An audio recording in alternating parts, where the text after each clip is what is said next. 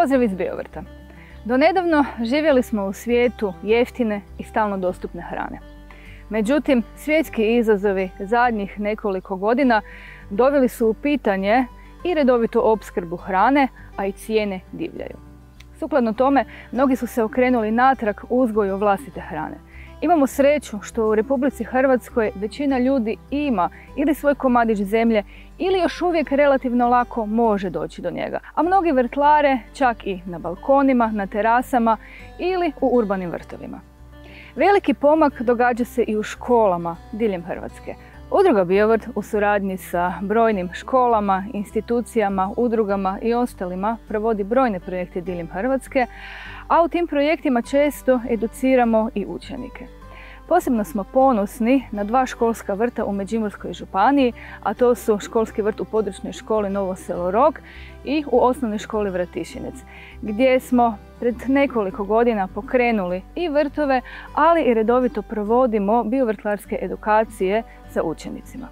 Ove godine krenuli smo korak dalje i u obje škole formirali smo školske banke sjemenja – tako da smo zaokružili cijelu tu priču i napravili istinski samodostatne vrtove. Osim redovitih edukativnih aktivnosti, u sklopu projekta kreirali smo i brošuru u kojoj sam opisala osnove o skupljanju sjemenja najčešćih biljaka koje uzgajamo na svojim vrtovima, a kreirali smo i edukativnu memory igru za velike i male klince u kojoj spajamo memory kartice, ali ne identične, nego zapravo pomoću ove igre učimo kako izgleda biljka u različitim fazama, odnosno kako izgleda sjemenje pojedine biljke. Hranu ne možemo uzgojiti bez sjemenja. Stoga, ukoliko želimo biti istinski neovisni, hranu ćemo uzgajati iz sjemenja koje skupljamo sa biljaka u našem vrtu. Pohranit ćemo ih u svoju banku sjemenja i tako iznova koristiti svake godine. Udruga Biovrt je pred 15 godina formirala svoju banku sjemenja i u njoj smo pohranili preko 700 različitih sorti povrća, nešto voća, cvijeća, začinskog i ljekovitog bilja. Dio te kolekcije ove smo sezone uzgojili i na školskim vrtovima, a dio onog što smo uzgojili na školskim vrtovima ćemo podijeliti i lokalnoj zajednici sa željom da se to sjeme i dalje širi i čuva u mnogim vrtovima diljem Hrvatske. I vi koji želite započeti svoju banku sjemenja možete nam se obratiti jer osiguravamo sjeme i za naše članstvo i za naš program Čuvari sjemenja. Skupljanje sjemenja nije komplicirano i ne uzima puno vremena ali nam je jako bitno imati znanje kako to napraviti. Pa ajdemo pogledati osnove o skupljanju sjemenja. Sjeme skupljamo sa zdravih, snažnih biljaka, jer su to osobine koje želimo prenijeti dalje. Znači, nemojte skupljati sjeme sa biljaka koje su kržljave ili bolesne, jer postoji opasnost da će i onda sljedeća generacija biti takva. Evo nalazim se kraj rajčice koja mi je vrlo ukusna, koja je lijepa i zdrava i biram prve plodove. Znači to je posebno bitno kod rajčica, paprika i ostalih biljaka iz obitelji pomoćnica da skupimo sjeme sa prvih plodova zato jer tu postoji najmanja vjerojatnost da su se oni iskrižali. Jer koliko god mi izolirali biljku ne možemo maknuti oprašivače sa našeg vrta, a oni mogu prenijeti pelut od jedne vrste do druge vrste i tako iskrižati plodove. Sjeme uvijek skupljamo sa potpuno zrelih plodova. Znači nikada nemojte birati nezrele, nedozreljene ili nekako bolesne plodove. Bitno je da je plod čim ljepši, čim zdraviji i potpuno zreli. Osnovno pravilo je da uvijek tražite sjeme na mjesto gdje je ona cvala. Pa evo, sa moje desne strane je uresnica ili kozmos i ovdje vidimo upravo je cvatu. Sjeme ću tražiti upravo u ovom dijelu na sredini cvijeta jer tu će se ono kasnije razviti. Ista priča i sa plodovitim biljkama, odnosno biljke gdje skupljamo sjeme na kraju iz plodova. Ona prvo mora cvasti kao ova paprika, eto sad na vrhovima cvate, kasnije se razvija plod koji se naravno da bi i sjeme dozorjelo u njoj mora potpuno razviti. Pa vidimo fazu od zelenih plodova koji rastu, eto koji su u ovoj fazi dobri za, za korištenje, ali ne i za skupljenje sjemenja. A plod je spreman, odnosno sjeme je spremno u plodu za berbu kada je potpuno zreli, kada kod paprike promijeni boju. Tada je i unutar ovog ploda zrelo sjeme i spremno da ga pohranimo i sijemo iznova iduće godine.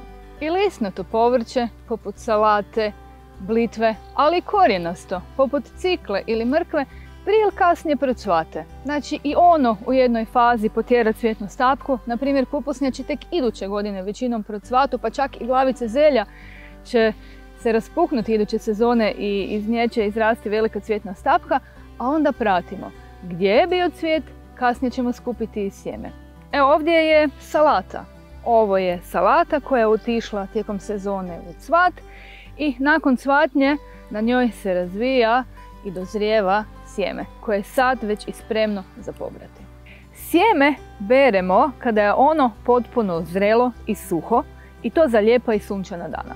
Ne možemo brati sjeme koje je mokro ili za kiše ili nakon kiše, zato jer ga onda nećete moći dobro posušiti i postoji mogućnost da će vam istruliti. Moramo paziti da je sjeme stvarno dobro dozrijelo na biljci, ali moramo i paziti dobar trenutak, jer ako zakasnimo, već se može rasipati. Tako može vjetar otpuhati sjeme sa salate ili odnijeti, doslovno isto tako, ono može popadati dolje sa mrkve ili sa nekog cvijeća. Evo me ovdje kod stabljike mrkve koja je otišla od sjeme, a pokraj je i rudbekija i na objema biljkama moram točno pratiti kada je koje sjeme zrelo i kada ga moram skupiti. Bitno je znači paziti da mi se ne rasipa prije nego ja dođem do njega. Kod mahunarki sjeme koje beremo su zapravo i plodovi koje jedemo. Mahune beremo zelene, međutim ako ih ostavimo da potpuno dozore, evo da se ovako posuše, unutar je zrnje koje možemo jesti i kao hranu, ali isto tako to je i sjeme. Tako da uvijek možemo dio pojesti, a dio posijati iduće godine i tako si osigurati održivost. Kad skupljamo sjeme sa tikvenjača, poput krastavaca, tikvi i tikvica, najbitnije je da plodovi dozore do kraja na biljci.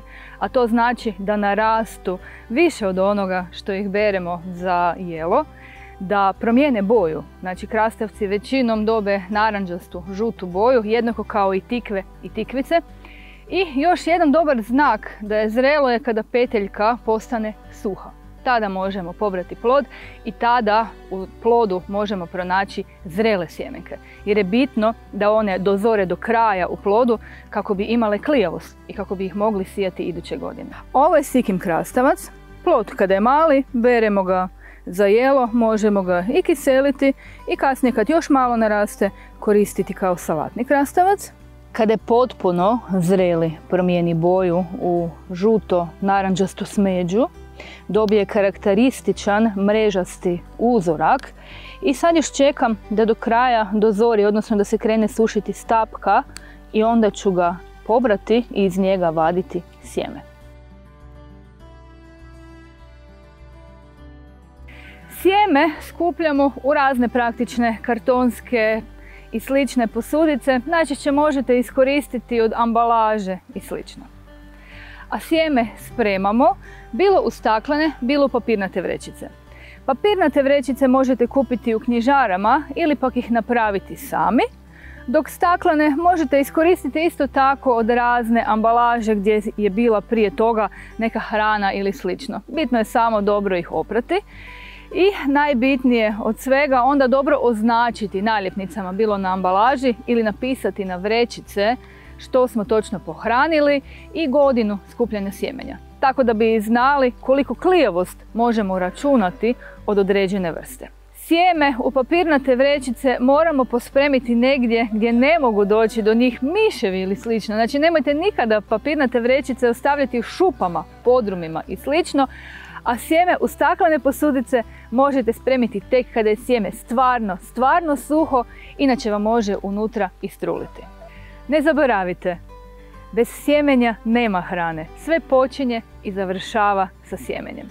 Istinski smo neovisni ne samo kada uzgajamo vlastitu hranu, nego kada ju uzgajamo iz sjemenja koje godinama obnavljamo i skupljamo na svom vrtu. Čuvajmo sjeme u svojim vrtovima.